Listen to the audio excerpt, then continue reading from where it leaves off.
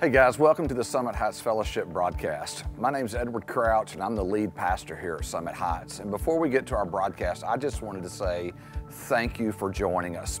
If you have a few minutes today, check out our website, summitheightsfellowship.com, and you'll learn all about our church. We have a great student ministry, incredible children's ministry, preschool ministry, and we do small groups all over our community, from Mineola to Quitman to Winnsboro, Hawkins, even in Big Sandy. We would love to have you check us out one Sunday.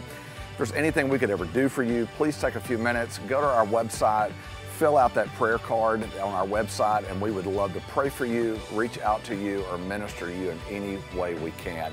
Again, thanks for joining us today. We hope you enjoy the broadcast. If there's any decisions or questions you have at the end of our broadcast, please reach out to us at our number on the screen or on our website. We would love to visit with you. Have a great day. Enjoy the broadcast. Spiritual hunger can go to get fed. Sort of a religious restaurant in the community. If you think about it, many churches actually operate like a restaurant. Restaurants exist in convenient locations, surrounded by clear signage to attract consumers. They offer a menu of items to choose from, and even a special menu for kids. The professional staff meet your every need and make sure you are fully satisfied. Some restaurants become so successful, they have to increase their seating capacity or franchise into other locations. Their high profile chefs turn into celebrities and gain a cult following. Sound familiar? Recently, restaurant style churches have had their problems. As a result, churches in many places are going out of business. But what if we could reconsider church? Not just as a place, but as a people. And not just existing on Sundays, but seven days a week. Imagine if church was more than a service we attend to get fed by professionals and programs, but rather all the followers of Jesus engaging in God's mission. What if the local church operated more like a fleet of food trucks? Food trucks are small, mobile, and go to people rather than waiting for people to come to them. Each one features a specialized menu designed to connect with different palates. And because they are easier to open and led by small teams, more people can get in on the action. Food truck style churches prefer to operate out in the world, in non religious spaces, they creatively communicate the good news of Jesus to those who pursue meaning outside of traditional church gatherings. The specific context they dwell in determines what forms of worship and rhythms of discipleship they practice. When food truck operators gather together, it's not simply to get fed, but to reflect, refuel, and recruit for the work ahead. Food truck churches go by many names and take many forms to express the kingdom of God, but they all share a conviction that everyone can contribute, including you. You can start a new group, pioneer a new project, or join an existing one in your city. Together, we can all reclaim the church's identity as a community, sent to join the mission of God and embody the life of Jesus in the places where people live, work, and play. Now then, who's ready to get on board? Morning. That was loud. They'll adjust it. Don't worry. I won't yell the whole service. Well, good morning. Uh, for those of you that don't know, my name's Jake. I uh, am one of the pastors here. And if you were here last week, in the last two weeks, we've been in a in a series on September the 15th. Two weeks from today, we're going to relaunch our small groups ministry.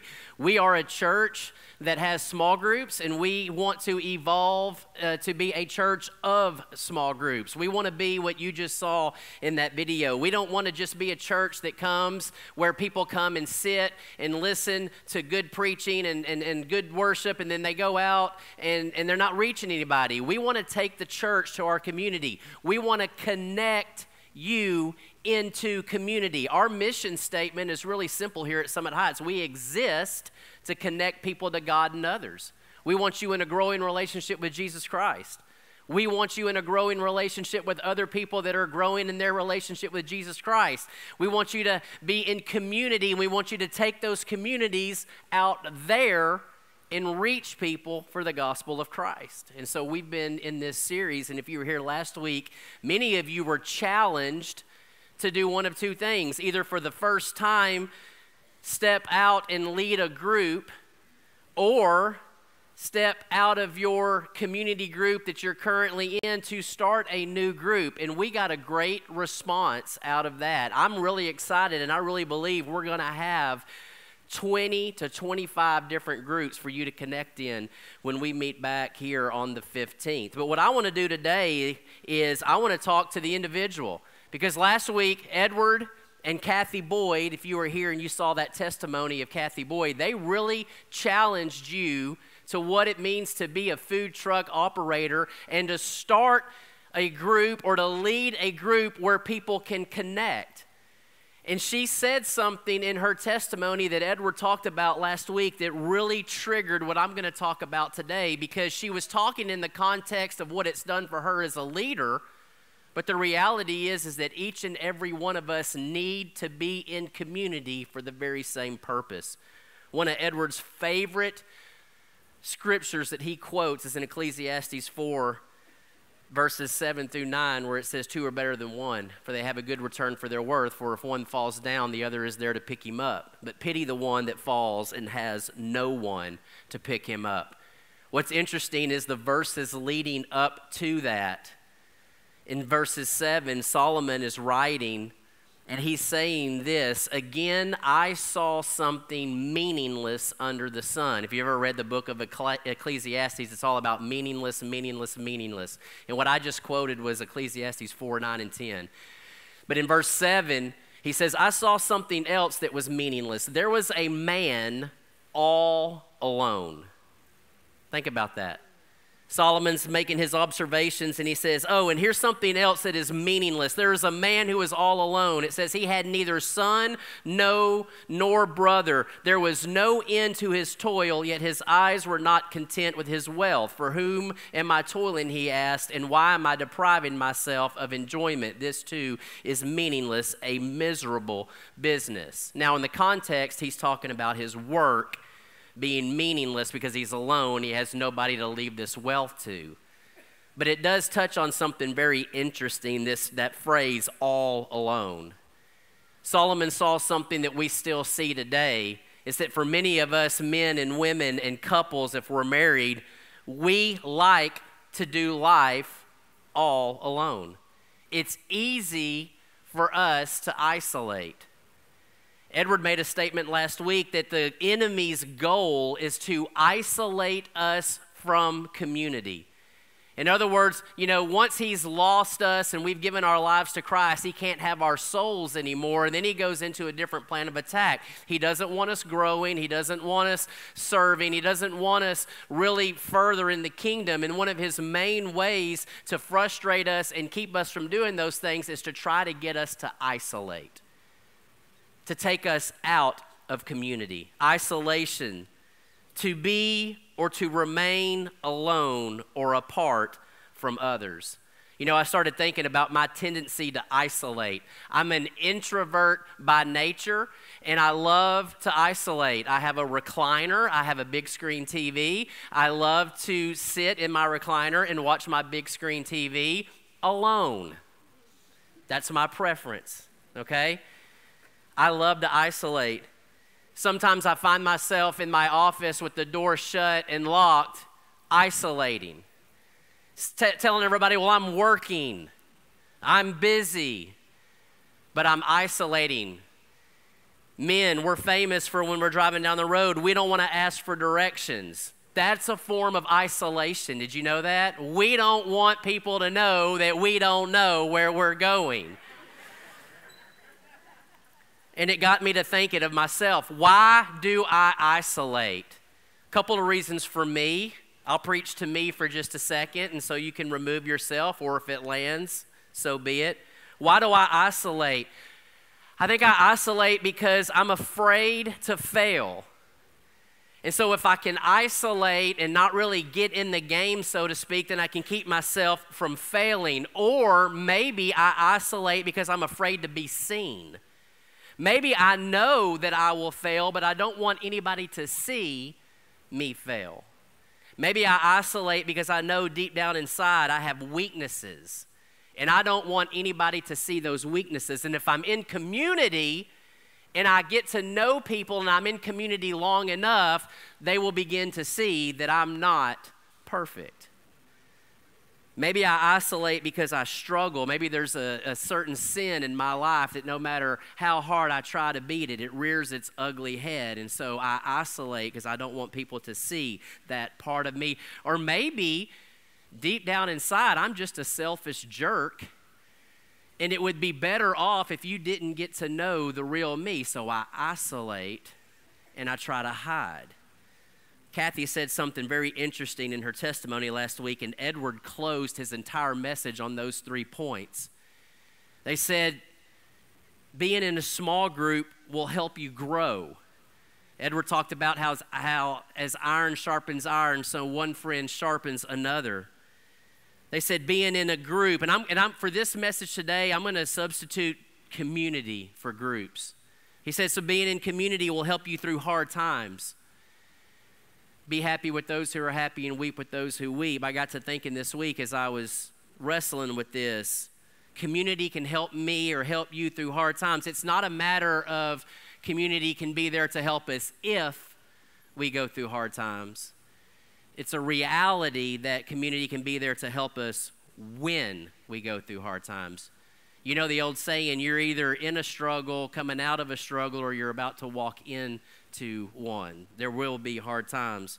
So, communities help us grow, communities help us through hard times, and then communities help us heal James 5:16 confess your sins to one another and pray for each other that you may be healed. I wrestled with those three statements all week long along with what Edward said about the enemy's goal to keep us out of community and to isolate and then I started thinking about this word that we use around Summit Heights a lot and maybe you've heard it uh, in the offering talk, maybe you've heard it uh, when we've preached a, a grace-filled message, maybe you've heard it when we preached about our, the DNA of our church. Uh, uh, maybe you've heard this word when we talked about our mission and, and how we want to be seeker sensitive and we want lost people to come and what? Be safe. You've heard us say that Summit Heights wants to be a safe place where people can come and investigate the claims of Christ. I started wrestling with that statement, safe place. What does a safe place? What does it mean when we say safe place? Like we come in here and we all put body armor on so that we're safe, or we put football helmets on so that we're safe.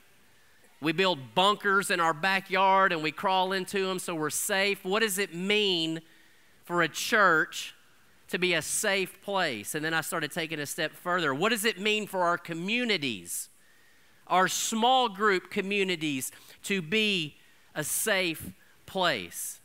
If we're going to grow, like Kathy said last week, if we're going to have a place where we can be when we go through hard times, if we are going to be a part of a place that promotes healing and helps us heal, it's got to be a safe place. But how? What does that look like? How do you create safety? How do you create safety in a church this size? How do you bring that into community? How do you know that you're in an environment or that you're creating an environment where somebody can walk in and feel safe? What does that look like? And then, as I'm praying through that, God takes me to one of the most weirdest passages I think you could ever preach on when it comes to launching small groups. So if you have your Bibles, I want you to turn to John chapter 8. And we're going to walk through the story, yes, as we promote small groups, of the woman who was caught in adultery, where the Pharisees and the teachers of the law drag her to Jesus. Many of you are familiar with this story. Uh, some of you may not be. Let me kind of set the context. Jesus is going up to the Mount of Olives, um, up to the temple. He's going to teach, and there's going to be a big crowd the Pharisees and the religious leaders of the law had made it their mission to trip Jesus up, to catch him in something that they could use to accuse him, to arrest him. They would often use people to do that. They would find a crippled man, like, is it lawful to heal on the Sabbath?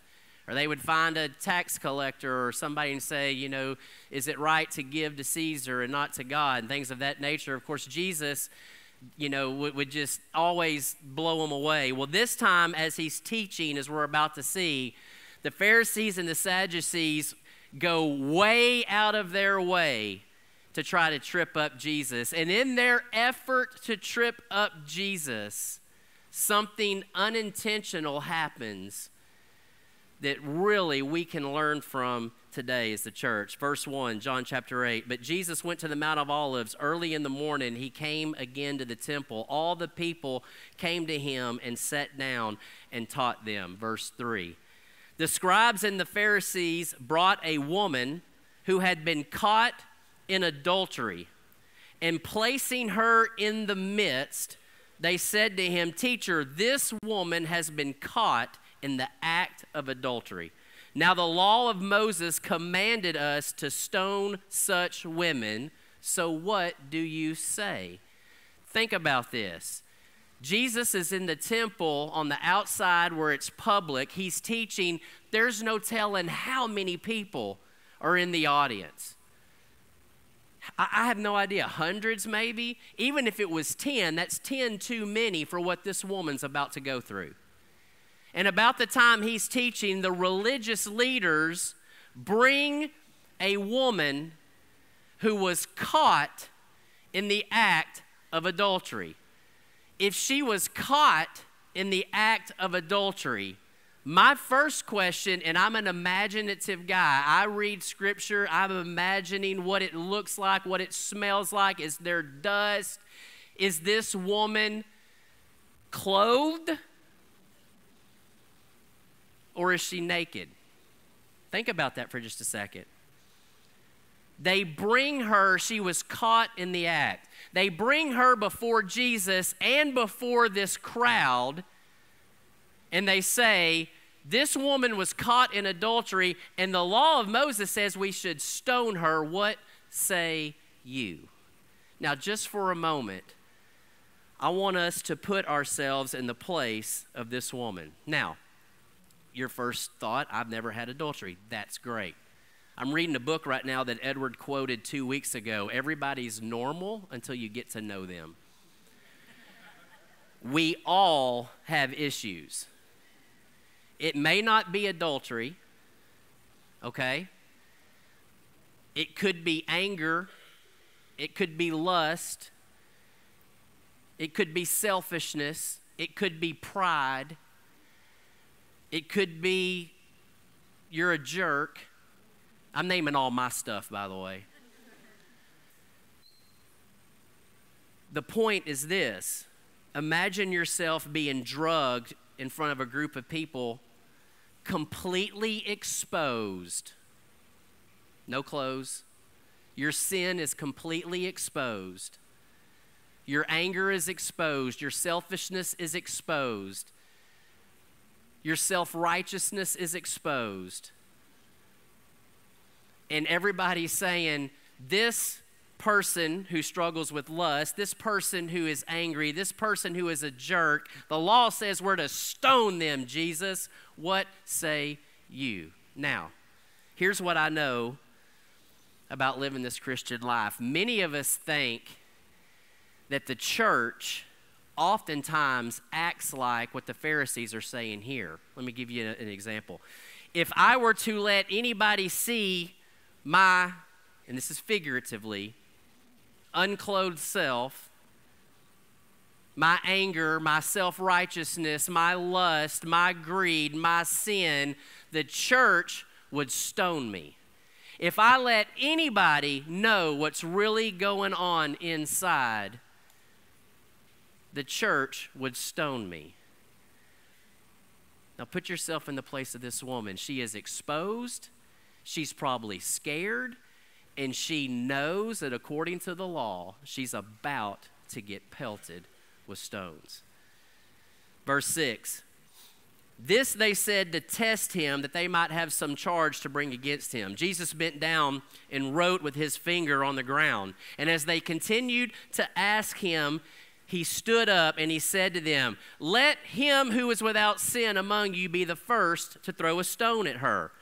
But when they heard it, they went away one by one, beginning with the older ones.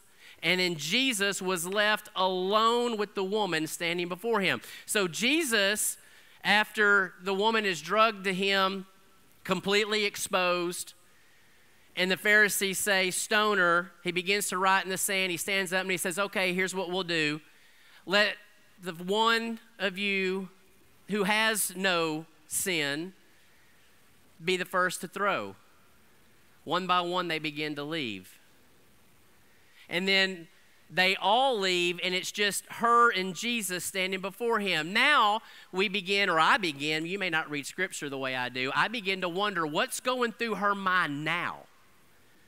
Because at first, completely exposed, completely bared, condemnation from the Pharisees, a charge to stone her, now beginning to see her accusers walk away one by one, one by one, one by one. Jesus, all the while, never really addressing her, talking to her. I begin to wonder what is she thinking now? Is it some sort of relief? Is she getting more scared? Is she like, okay, when's it coming? This is a setup. I mean, what's going on here? After they all leave, and it's just her and Jesus, verse 10 Jesus now stood up and said to her, Woman, where are they? Has no one condemned you? She said in verse 11, No one, Lord. And Jesus said, Neither do I condemn you. Neither do I condemn you. And from now on, he said, Sin no more. Now put your place. Now, what is she thinking? Now, what's going on in her heart? Now, how do you think she feels? You know, it's interesting when I read this story, the verse that pops up in my mind, you know, the old verse, uh, I think back in Genesis when uh, Joseph said, What God meant for harm, or what you meant for harm, God intended for good what the Pharisees meant for harm for this young lady as they drug her out naked and exposed, God used for good. What the Pharisees meant to do to her, stone her, Jesus turned it in to a grace filled message of redemption. And it's interesting, this woman who was in the act of adultery, we can't really forget that, and we'll get to that in a minute, was drug out and found something in Jesus that she really didn't expect. Anybody want to take a guess what that was? Safety. Safety. She found safety. Safety from the stones. Safety from the condemnation, safety from everything that probably was going on in her life at that time. She found that Jesus was a safe man. We don't talk about that a whole lot. We know Jesus is a warrior, that he overturned tables and that he went to the cross and he battled the demons of hell for you and I. We know that Jesus is King of kings and he's Lord of lords. We know that he's a phenomenal teacher but Jesus was also the safest man that ever lived. Women and children, all through the Gospels, found him to be safe. Children would sit on his lap, and when the disciples would try to rebuke the children for doing so, Jesus would say, No, no, no, no, no. Let the children come, for the kingdom of heaven is made for such as these. He was safe. This woman found safety in a man, in a man who is God, by the way, she found safety in the hard times. Now, think about this just for a second.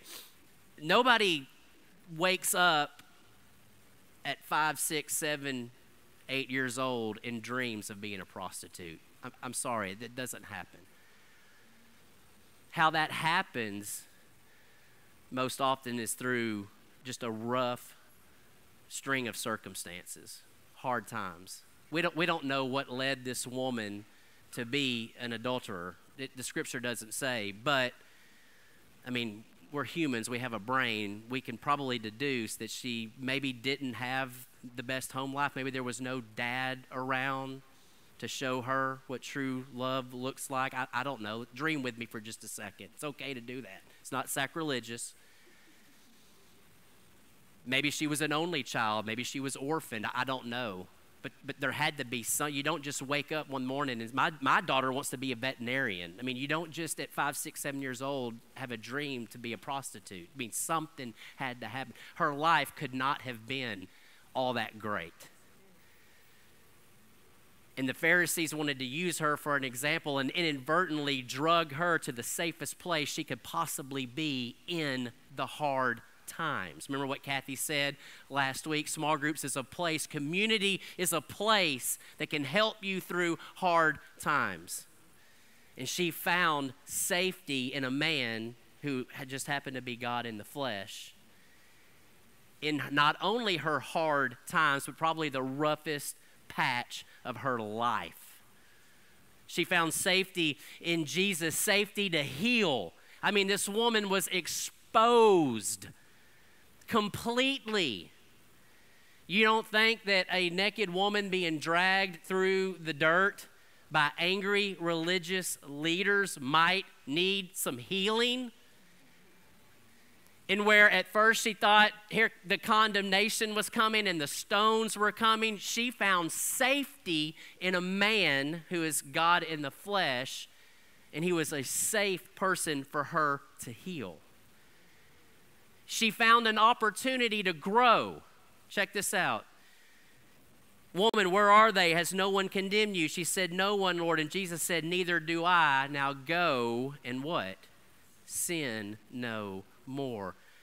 Dream with me for just a second. Do you really think the God of the universe, the God of the universe who taught us and told us that we are to go and make disciples, that we are to model everything that we've learned to other people, you really think the God of the universe, this safe man, who was there for her during her roughest time of life and who gave her an avenue of healing would just say, okay, now go and figure it out. I would be willing to bet you that this woman probably followed him around every day after that. Jesus was safe for her and provided that safety for her to grow. It's interesting. One of my pastor friends that, um, that I love dearly told me one time, he said, You know, we're not much different from the Pharisees, even as a grace filled pastor who preaches grace. We set expectations on people and we expect people to meet those expectations. And oftentimes, while we would never physically drag an adulterer and bring her before Jesus to be stoned, oftentimes we put expectations on people that they'll never be able to meet. And he says, if you really want to be grace filled, you've got to learn to move people to the next step of their walk through grace. We were having a conversation on safety. And he said, if you really want to be a safe man, you've got to be able to learn to move people through grace. And then he gave me an unbelievable illustration I never thought about. You know, when Jesus was uh, at the Last Supper, he told Peter that you're going to deny me three times. Oh, Lord, I would never do that. Jesus gets arrested, and Peter's out by the fire, and what happens? Peter denies him three times. Jesus looks at him when the rooster crows, and Peter, for that moment, knew that he was exposed as a fraud. Now, it would have been very easy, if you go to the end of the book of John, it would have been very easy for Jesus to go up to Peter sometime later, bring Peter over, spank him, preach at him, condemn him. I mean, whatever you want to call it. But at the end of the uh, at the end of that book, if you remember this story, they're out there fishing, and Jesus is is by a fire, and he's hollering at them, "Hey, did you catch anything?" This is paraphrase. I'm paraphrasing.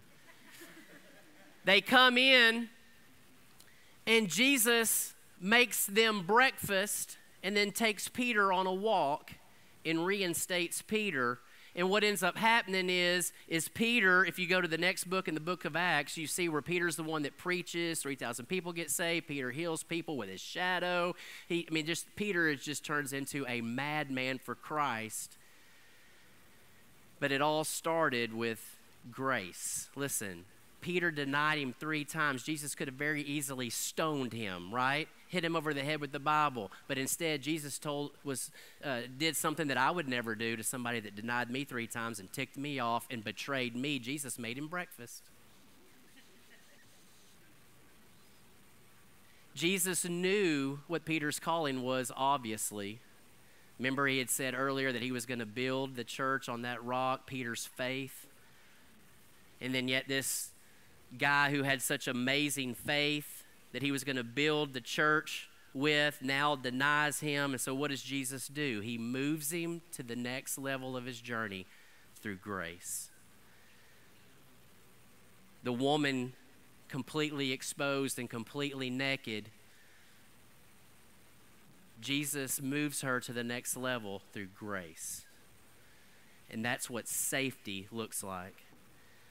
You know, I'm reminded as I read this story that it's not just the woman caught in adultery that needs a safe place to grow and a safe place to heal and a safe place to be through hard times. Every one of us need that community. Every one of us need a place where we can go when hard times come. Every one of us need a place where we can go to get healing. Every one of us need a place where we can go to grow. Now, here's the, the, the catch 22. Here's the tension. The woman was forced into it, she was drug into it, and throughout any doing of her own, stumbled on to safety. Now, I so wish that we could do that for us that just an angry mob of Pharisees would walk in here. In fact, on September the 15th, when we relaunch small groups, I've, I've made some calls. I'm looking for angry groups of Pharisees to come in here and drag each and every one of us into community. That would be awesome. It's not going to happen. Edward said last week, you're not going to stumble into community. You have to pursue it. And there's no Pharisees that are going to drag you into community. You have to want it, you have to pursue it. But then here's the other caveat we've got to be able to create those kind of communities for you to be in. You know, it's real interesting. Now, here's, and here's another tension. I want to be in a safe community, but I'm also called to create safe community. And even if I'm created safe community, with people get out of their seats and come and be a part of safe community. And then I'm over here. Even if you created a safe community, would I go? And even if I wanted to go, would that community be safe enough for me to go? There's the tension. So, what do we do? How do we create safe community? Well, I believe it's through two words that most of us will cringe when we hear vulnerability and authenticity. You know, over the last two and a half years, I've been on a journey, an interesting journey of learning about myself. Learning that there's parts of me that I didn't know existed that most of you already did. I don't know why you never told me I was a selfish jerk. I don't know. Hey, somebody clapped a little too loud back there. I don't know why you didn't tell me that I was angry all the time. I don't know why you didn't tell me that I was the poster child of ADD, and when you tried to talk to me, I wouldn't look you in the eye and I'd walk to the other side of the room. It's not my fault y'all didn't tell me those things. But that's who I was, and that's who I could still be. But I've learned over the last two and a half years that if I'm vulnerable and I'm authentic enough to just let people know that up front, that I can heal and that I can grow. And I've been fortunate enough over the last two and a half years to be a part of multiple communities where this is modeled.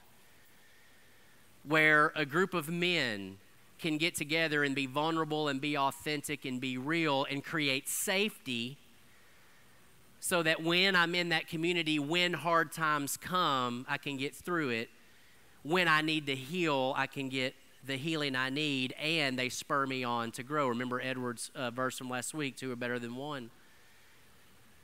I have found that there's communities of couples, community groups, and some other co- communities that we're a part of where Ashley and I can be a part of a group of people and we can be vulnerable and we can be authentic. And while everybody's vulnerable and authentic, and, and I, this phrase is kind of, you know, doing life together, whatever that means, but, you know, growing together and healing together and going through our hard times together, that that's when those things happen. And so it's very interesting for me I have found safety just in the last couple of years through vulnerability and authenticity. And here's what I've found for myself the more vulnerable and the more authentic I am with other people, the safer they feel as well.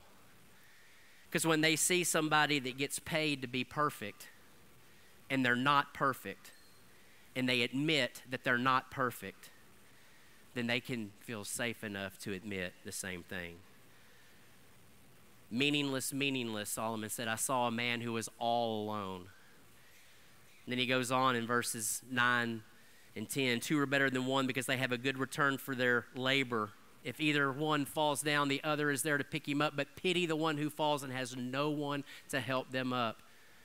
Verse 11, also, if two lie down together, they will keep warm, but how can they keep warm alone? And then verse 12, Though one may be overpowered, two can defend themselves, but a cord of three strands is not quickly broken. And so at this time, I want to show you what safety looks like in the context of community. Because right now, I've just been talking about vulnerability and authenticity and building safe communities, but I actually want to show you what that can look like. And so I'm going to have some um, couples come up, and Ashley's going to come up and join me. Y'all come on. This is my wife, Ashley, our children's minister. We do life together. We are one flesh. This is a group of people in our lives. Go ahead and circle up and face out. Link arms. Circle in. There you go. Now, let me ask you a question. I know you can't see Ashley, but she's here.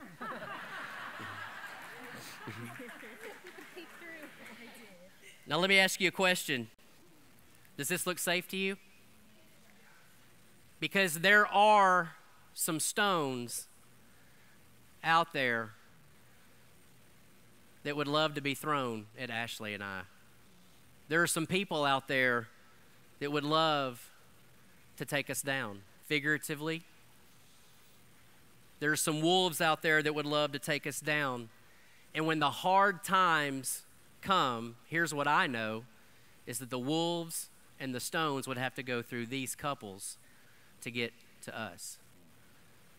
Now, let me ask you a question Does this look safe to you? Right, let me show you something else. Turn in. I told you at the beginning of this message that the tendency for me is to isolate. But these people that you see, these couples, they don't let me isolate. They know us so well, we've given them full permission to look into our lives. These men in this circle know everything about me. These couples know everything that we struggle with as a couple. Now, let me ask you a question Does this look safe to you? What can the enemy bring against us as a couple or against me as a man when I've already confessed it to these people? What stones can be thrown when every one of these people already know my junk? Does this look safe to you? Yeah. Let me show you something else. Two on that side. Y'all go on that side, dude.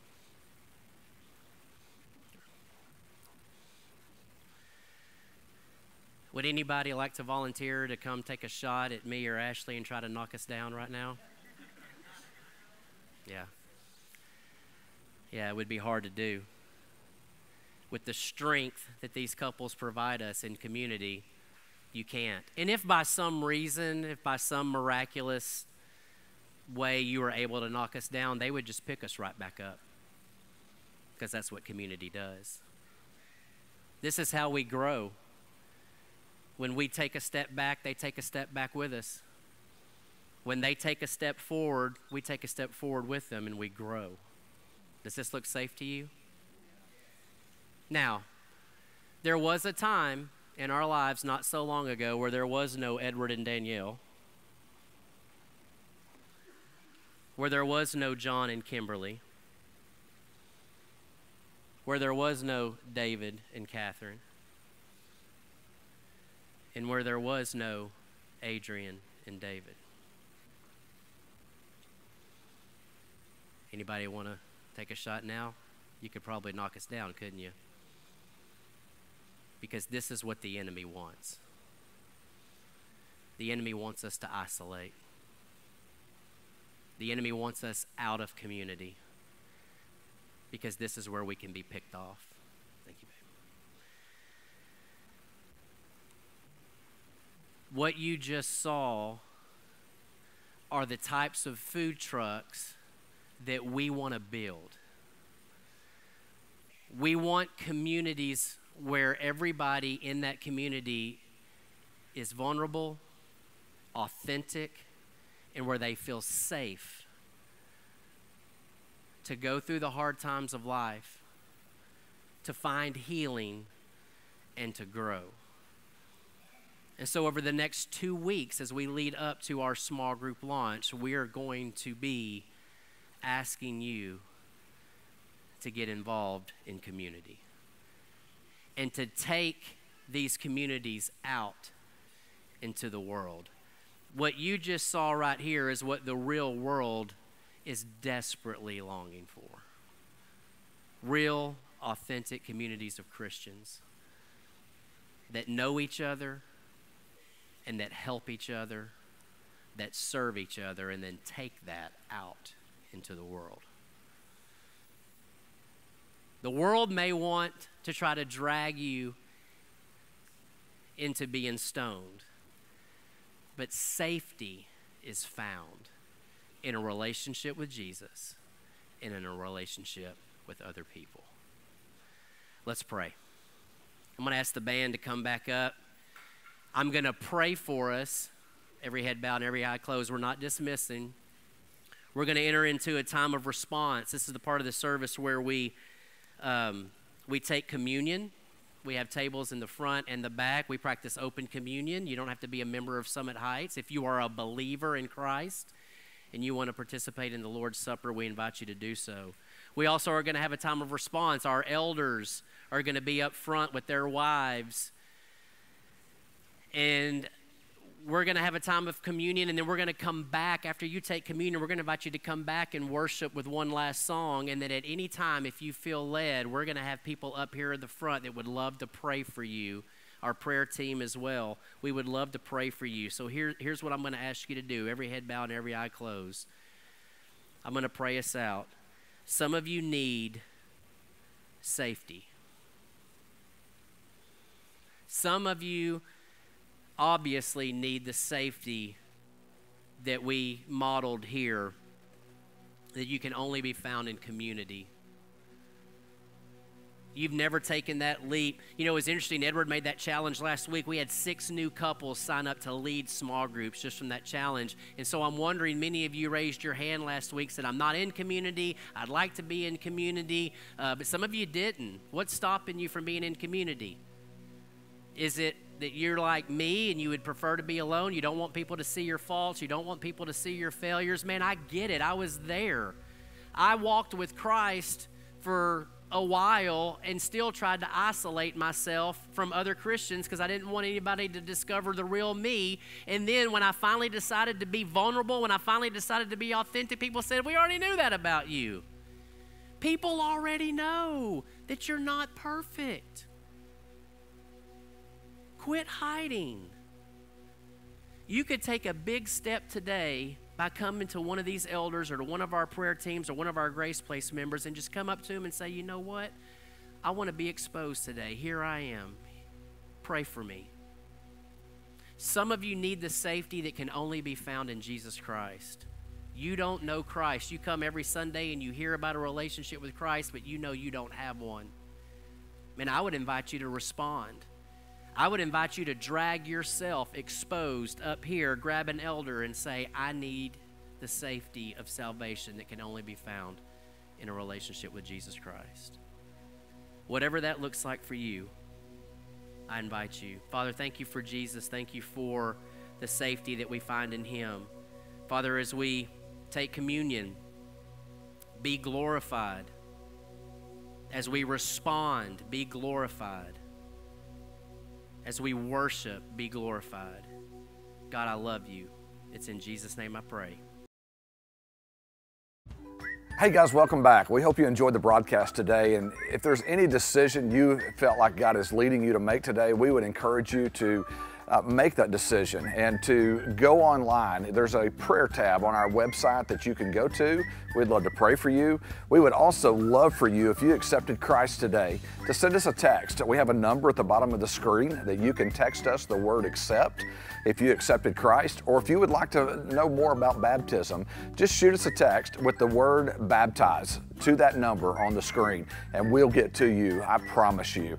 Hey, have a great day. And listen, if you're looking for a great church and you don't have a church home, come visit us one Sunday. We have two services, one 9, one at 11. We'd love to see you. Have a great week.